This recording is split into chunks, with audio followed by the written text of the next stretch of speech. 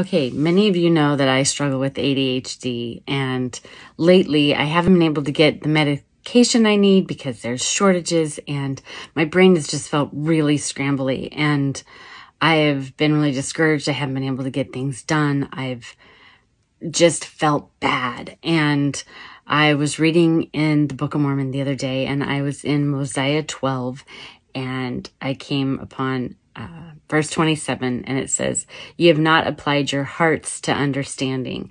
And when I read that, something kind of pricked my thoughts, right? So this is where I tell you, follow the footnotes along. So I clicked on the footnote, um, and it took me over to Proverbs 8 5, and it said, Ye fools, be of an understanding heart. And all of a sudden, I felt this love coming from a Heavenly Father. And I felt this this feeling like, okay, sometimes your brain doesn't work right. This is a disability that you have, but you've compensated or you've been compensated by having an understanding heart and that you feel things strongly and that you love people. And, um, I just felt this love coming from Heavenly Father. Just saying like, you're not all bad, basically.